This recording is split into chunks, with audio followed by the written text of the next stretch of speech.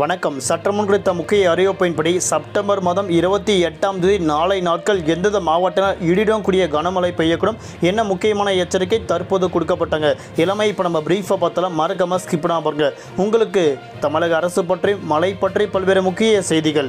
உடனுக்குடன் துல்லியமாக தெரிந்து கொள்ள நம்மளோட சேனலை கீழே இருக்க ரெக்க பட்டனை கிளிக் பண்ணி சப்ஸ்கிரைப் பண்ணிக்கோங்க. பக்கத்தில் பெல் பட்டனை கிளிக் பண்ணிக்கோங்க. இந்த வீடியோ உங்களுக்கு பிடிச்சிருந்தா லைக் பண்ணுங்கள் இப்போ வாங்க வீடியோக்குள் போகலாம். தற்போது நிலவரப்படி பார்க்கும்போது அக்டோபர் முதல் டிசம்பர் மாதம் வரைக்கும் வடகிழக்கு பருவமழை காரணமாக தமிழகத்தில் இடியுடன் கூடிய கனமழை பெய்ய வாய்ப்புள்ளதாக சொல்லப்பட்டாங்க.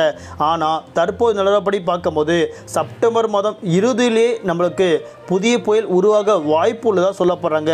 அதாவது தமிழகத்தில் செப்டம்பர் மாதம் இறுதி முதல் மீண்டும் தமிழகத்தில் வடகிழக்கு பருவமழை காரணமாக பல்வேறு மாவட்டங்களில் அதிதீவிர கனமழை பெய்ய வாய்ப்பு உள்ளதாக சொல்லப்படுறாங்க. இதற்கிடையே பார்க்கும்போது இன்றைய நாட்கள் செப்டம்பர் மாதம் இருபத்தி ஏழாம் தேதி இன்றைய நாட்கள் இருபத்தி மூணுக்கும் மேற்பட்ட மாவட்டங்கள் இடியுடன் கூடிய கனமழை பெய்யக்கூடும் சொல்லப்பட்டாங்க. அதே போன்று நாளை நாட்கள் பதிமூணுக்கும் மேற்பட்ட மாவட்டங்கள் கட்டாயம் இடியுடன் கூடிய கனமழை பெய்ய வாய்ப்புள்ளது.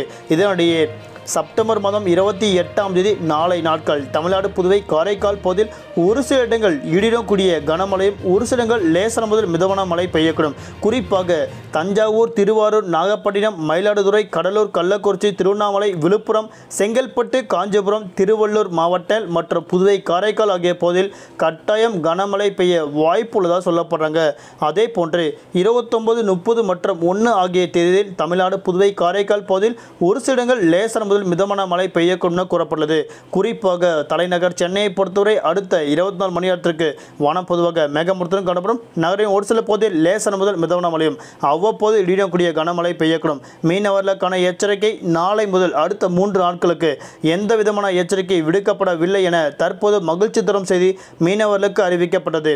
இதனிடையே நாளை முதல் நாளை மறுநாள் மற்றும் அக்டோபர் மாதம் வரைக்கும் கட்டாயம் மழை பெய்ய வாய்ப்புள்ளதாக சொல்லப்படுறாங்க. நன்றி வணக்கம்.